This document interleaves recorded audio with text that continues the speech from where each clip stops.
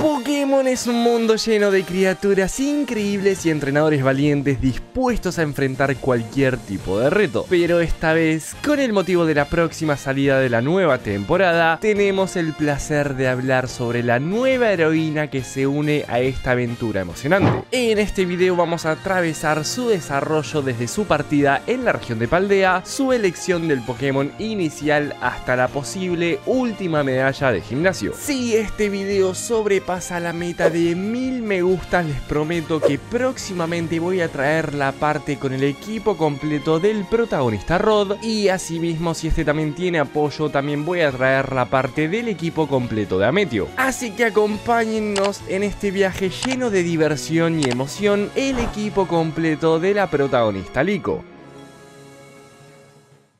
Comenzamos con la opción obvia y evidente a día de hoy, ya que como todo el mundo sabe, la gran elección de Lico es su Pokémon inicial Sprigatito. El Pokémon de tipo planta va a ser su compañero característico, el cual acompañará a Lico en sus aventuras. Este, en el primer capítulo, no quiere saber nada acerca de su nueva entrenadora, tratándola con desprecio al ignorar sus órdenes en combate, lo cual refleja su personalidad rebelde e independiente. Sin embargo, para fortuna de la protagonista, esto no dura mucho, ya que a medida que el episodio avanza, el vínculo entre los mencionados se fortalece poco a poco, hasta el punto en que el Pokémon Sprigatito acepta a Liko como su entrenadora, mientras que la misma sale de su caparazón de timidez y entiende los deseos y necesidades del Pokémon inicial. A lo largo de todo este viaje que se aproxima, Liko y Sprigatito van a enfrentarse a todo tipo de desafíos juntos, desde batallas épicas contra otros entrenadores hasta la invocación del mismísimo legendario Rayquaza. Y a pesar de todos estos obstáculos que se pondrán en el camino, su amistad y lealtad nunca jamás disminuirá.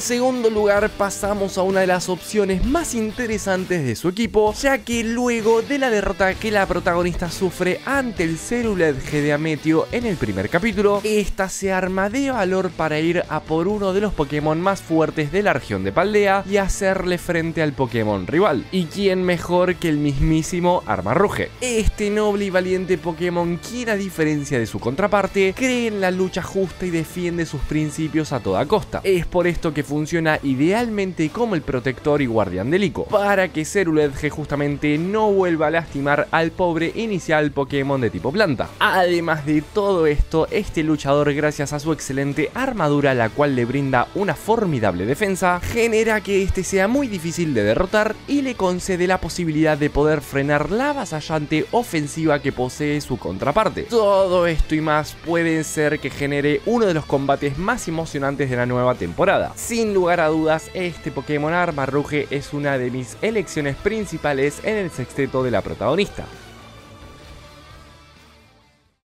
Anteriores temporadas de Pokémon pudimos ver a Ash Ketchum como el protagonista de las mismas, donde en casi todas las temporadas, a excepción de la región de Alola y de la región de Galar, pudimos ver a las aves regionales dentro del sexteto principal. Es por esto que Kilowattrel es la elección para este puesto. El Pokémon pájaro quien posee los tipos eléctrico volador normalmente frecuenta las zonas costeras de la región de Paldea, así que su captura se tendrá que dar por estas zonas en específico. Obviamente dicho Pokémon no lo obtendría en su última etapa evolutiva, ya que carecería de sentido para la trama de la protagonista. Pienso yo que esta ave regional puede tener un desarrollo muy similar al Talonflame de Ash, quien obtuvo una de las evoluciones más épicas en la temporada de la sexta generación, en un combate super mítico contra ni más menos que el legendario Moltres. Además de todo esto, que obtenga la última ave regional disponible puede ser un hermoso guiño a las antiguas aventuras de Ash Ketchum, ya que como estuvimos viendo por lo menos en el avance del primer episodio, donde aparece el primer fragmento del Pokémon de tipo volador Pidgeot, se deja dar cuenta que frecuentemente a lo largo de toda esta temporada van a haber muchas referencias a las anteriores, precisamente a las aventuras de nuestro ex protagonista.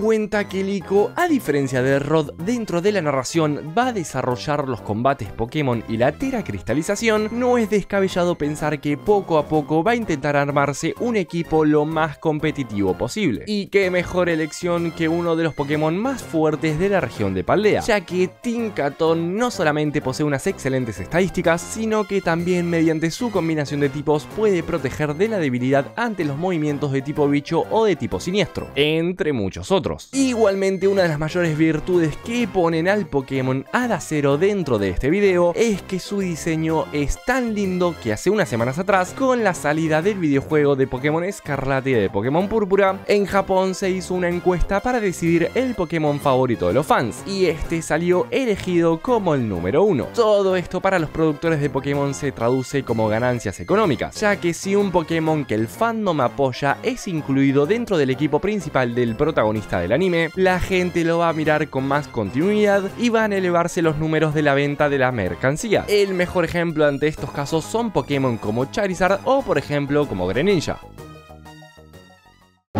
Justamente hablando de Pokémon fuertes, en esta parte del video nos vamos a encontrar a un delfín mutante capaz de descuartizar a toda tu familia. Palafin es definitivamente una de las tantas razones por la que quise hacer este video. El Pokémon de tipo agua me parece que puede compartir varias características principales con la protagonista Liko, quien en el primer episodio vimos que posee una gran dificultad social para interactuar con sus compañeras, pero que también sabemos que a medida que la serie continúa avanzando, esta poco a poco va a ir sacando su lado extrovertido. Es casi como si fuera otra persona diferente. Exactamente esta es la situación y la metáfora que se plantea con el Pokémon Palafin, quien gracias a su habilidad Cambio Heroico, una vez que es reemplazado del campo de juego en pleno combate, la próxima vez que salga va a ser literalmente otro Pokémon, ya que su diseño es épicamente superior y sus estadísticas se incrementan como nunca. En su forma normal tiene 400 157 puntos totales y en su forma heroica tiene la demencialidad de, por favor escuchen esto, 650 puntos. O sea, es literalmente un pseudo legendario. Y de anteriores generaciones sabemos que cuando un Pokémon posee mucha vinculación afectiva con el propio entrenador, al fin y al cabo se acaba siendo uno de los Pokémon más fuertes del equipo. Como fue Lucario en el Campeonato Mundial Pokémon acompañado de nuestro ex protagonista Ash Ketchum, Balafin puede compartir